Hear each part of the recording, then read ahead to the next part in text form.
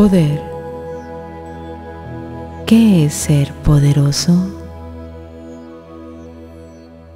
Cuando combino el poder de la confianza en mí mismo con motivos puros, poco es lo que no puedo lograr. Si utilizo este poder con sabiduría en beneficio de a todos aquellos con quienes me cruzo, puedo confiar en que siempre tendré lo que necesito.